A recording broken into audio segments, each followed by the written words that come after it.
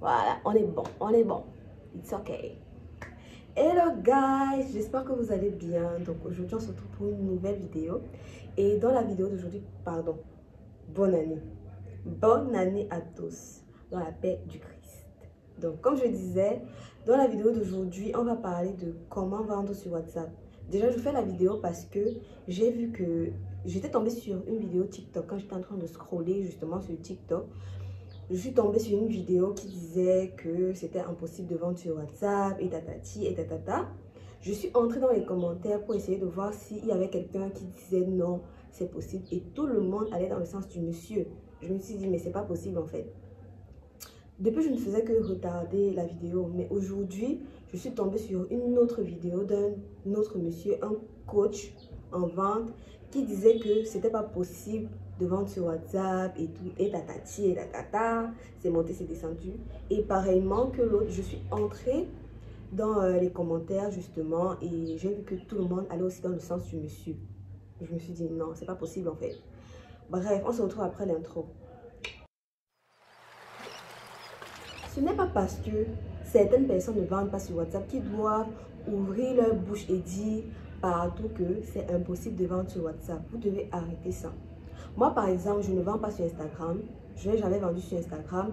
Je ne vais pas me lever un matin et dire on ne vend pas sur Instagram. Non, c'est juste que moi, personnellement, je ne sais pas comment vendre sur WhatsApp ou bien je n'ai pas les tips pour pouvoir vendre sur euh, Instagram. J'ai dit WhatsApp, mais Instagram. Voilà, je n'ai jamais vendu sur Instagram. Je ne vais pas tirer sur Instagram. No way. Je me permets de faire cette vidéo. Pourquoi? Parce que je trouve que j'ai des tips. Moi, je vends personnellement sur WhatsApp. Donc, je pense que les conseils que je vais donner, les tips, entre guillemets, que je vais donner, vont pouvoir aider certaines personnes. J'ai remarqué que dans mon entourage, quand je donnais les conseils sur comment vendre sur WhatsApp, ça marchait. Pour certaines personnes, bien évidemment. Pour ceux-là qui appliquaient les conseils. J'ai déjà eu les retours de certaines personnes. Si je retrouve, je vais vous mettre... Euh, et capture d'écran. Mais vu que j'ai changé aussi de téléphone, euh, j'ai perdu beaucoup de messages. Bon, je ne suis pas sûre. J'ai eu beaucoup de messages de certaines personnes qui disaient oui, ils ont réussi à vendre, euh, que ce soit sur Facebook WhatsApp. Quand je donnais les conseils, j'ai vu que ça marchait. Donc, pourquoi pas justement partager euh, ces petits tips-là avec vous? Voilà, ce que je me suis dit. Je pense que ça va aider beaucoup d'entre vous à pouvoir vendre sur WhatsApp. Si euh, vous voyez que vous pouvez vendre quelque part, vraiment foncez pour justement multiplier votre, votre chance de vendre un produit. C'est ce que je me dis en fait. Voilà. Pourquoi vous devez m'écouter moi? Parce que moi, personnellement, je n'ai pas fait d'école de business. Je n'ai pas fait d'école de, de, business et tout. Je suis une personne comme vous. Je suis une personne lambda comme vous. Donc, je ne vais pas forcément employer des thèmes techniques qui vont vous, euh, qui vont vous dérouter en fait, que vous n'allez pas comprendre. Donc, je vais employer les termes un peu, euh, comment dirais-je? Comment dirais-je? Les termes non techniques, parce que le mot ne vient pas là maintenant, pour que vous puissiez justement comprendre. Qu'est-ce que vous devez faire pour vendre sur WhatsApp? Tout d'abord, vous devez vous servir des autres réseaux sociaux afin de ramener le plus de personnes possible sur votre WhatsApp. Pourquoi? Parce que WhatsApp, c'est une plateforme assez fermée. C'est pas comme les autres plateformes. C'est une plateforme assez fermée. Pour que les gens aient accès à votre story, il faut que les deux parties aient enregistré le numéro de l'un de l'autre. Il faut que vous deux, vous ayez enregistré le numéro. Sinon, aucun de vous ne va pouvoir voir la story de l'autre. On est d'accord? Tout le monde connaît déjà le principe avec WhatsApp. C'est la raison pour laquelle vous devez faire en sorte que ce soit vos clients qui enregistrent vos numéros en première position. Une fois que la cliente ou le client va vous écrire, vous allez directement enregistrer, enregistrer le numéro de la potentielle cliente. Voilà. Je vais prendre cas par cas.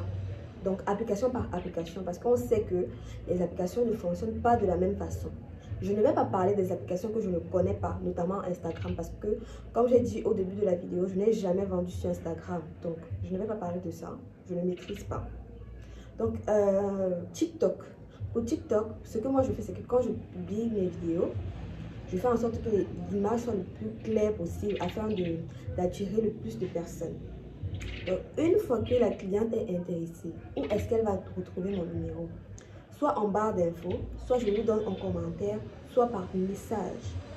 Je ne mets pas mon numéro, euh, comment dirais-je, dans la description. Non, je ne mets pas mon numéro. Apparemment, ça bloque euh, la vidéo. Ça fait en sorte que la vidéo ne soit pas vue par le plus de personnes possible. C'est ce que j'ai entendu. Je ne suis pas sûre de cette théorie.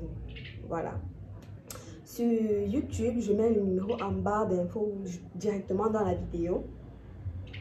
Voilà. Et euh, sur Facebook, dans la description, oui, et en commentaire. Aussi euh, dans la bio. C'est comme ça que je fais. Pour ceux qui ne savent pas, vous pouvez aussi vendre vos produits euh, dans la marketplace. Dans la marketplace, pour, pour que le numéro s'affiche, il ne faut pas mettre tel ou numéro de téléphone. Sinon, ils vont bloquer parce qu'ils veulent à tout prix que les gens sponsorisent pour, avoir, pour se faire de l'argent. Voilà. C'est comme ça, c'est un peu comme ça que Facebook fonctionne. Et le pour se faire de l'argent, là, c'était pas vous, mais Facebook. Pour que eux, ils aient de l'argent. C'est un peu ça. Donc, une fois que vous avez ramené le plus de personnes possible sur votre WhatsApp, comment est-ce que vous allez faire pour vendre sur WhatsApp? That's the real question. La question à un million. Voilà. Moi, je vous proscris déjà les listes de diffusion parce que les listes de diffusion, ça fatigue. Moi, par exemple, toutes les personnes qui m'ont mis dans leur liste de diffusion, je les ai, euh, comment dire le thème Je les ai ghostés, blacklistés, non pas blacklistés. Euh, je les ai mis en sourdine. Il y a aussi un autre thème qu'on utilise sur WhatsApp là. Bon, si je retrouve, je vais vous le dire, mais bon, ma tête est un peu loin. Bref. La première stratégie, c'est de vous servir de... Euh, on appelle ça comment? Oh là là là là, pourquoi les thèmes la fuient aujourd'hui comme ça? Voilà, j'ai trouvé le terme. C'est de mettre vos articles, les différents articles que vous avez dans votre catalogue, le catalogue euh, WhatsApp. Filmez les différents articles, vous mettez le prix, la description du produit et c'est bon. Ensuite, qu'est-ce que vous allez faire d'autre? Tout va se jouer sur la story. Voilà. Tout va se jouer sur la story. Parce que oui, les gens vendent sur la story. Moi, je connais, j'ai une cliente, euh, la majorité de mes clientes ivoiriennes vendent beaucoup plus sur leur story. Ça, je peux vous l'assurer. Elles vendent beaucoup plus sur leur story. Moi aussi, je vends sur ma story. Voilà. Donc, tout va se jouer sur la story. Donc, comment vous allez faire? Vous voyez la personne dont vous, vous êtes scotché sur ces stories H24 là. Vous allez vous inspirer de cette personne. Parce que les gens aiment les statuts qui sont attrayants, attractifs. Vous ne devez pas seulement venir poster H24, vos produits et espérer que les gens achètent. Ça ne fonctionne pas comme ça. Quand vous allez poster vos articles H24 là, vraiment, les gens ne seront pas trop scotchés à vos stories. Vraiment. Moi, je... J'ai les gens, j'ai beaucoup de personnes qui sont scotchées à mes stories. Surtout ceux qui sont là depuis. Celles-là peuvent témoigner. Parce qu'en général, moi, je gère comment? Je mets les statuts drôles. Je mets les statuts drôles et je partage un peu ma vie. Oui, vous partagez un peu votre vie. Comme ça, là, vos clients auront l'impression de vous connaître. Oui, ils auront l'impression de vous connaître, d'entrer un peu dans votre vie. Et soyez un peu amis avec vos clients. Moi, je suis un peu amie avec mes clients. Ouais. Donc, faites appliquer un peu ça et vous allez voir que au fur et à mesure, ça va aller. Au fur et à mesure, beaucoup de personnes seront scotchées à vos stories.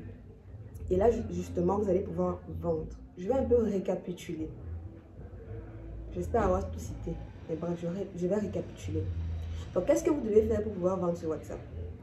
En un, vous, vous inspirez de la personne dont vous regardez ses stories H24. En deux, postez les statuts de rôle. Les gens rentrent du travail, ils sont fatigués. Ils sont fatigués, ils ont besoin de se divertir, sans toutefois trop bouger et tout. Donc, quoi de mieux que d'aller sur, les statuts d'une personne qui poste toujours les statuts drôles? Donc, entre, deux statuts drôles, vous glissez les statuts de votre business. Et ne le faites pas tous les jours. Pardon, vous allez fatiguer les gens. Ne le faites pas tous les jours. Donc, entre deux statuts drôles, vous glissez les statuts de votre business. Voilà. Et euh, donnez certaines astuces gratuitement. Parce que oui, les gens aiment tout ce qui est gratuit, si vous ne savez pas. Et en trois, montrez un peu votre vie. Comme ça, là, vos clients auront l'impression de vous connaître. même si ce n'est pas réellement le cas, ils auront l'impression de vous connaître. Et quand c'est comme ça, c'est mieux parce que on fait beaucoup plus confiance à quelqu'un qu'on connaît, à quelqu'un qu'on ne connaît pas. Donc, c'est un peu ça. Je ne vais pas trop durer là-dessus. Donc, euh, c'était tout pour cette vidéo. J'espère avoir tout donné euh, comme astuce. Si vous avez d'autres astuces, n'hésitez pas à me les donner en commentaire, à partager. Voilà. Donc, on se retrouve pour une autre vidéo dans quelques, quelques jours, j'espère. Bref, portez-vous bien et partagez, likez, commentez. Et on se dit à la prochaine pour une nouvelle vidéo. Je vous fais plein de bisous.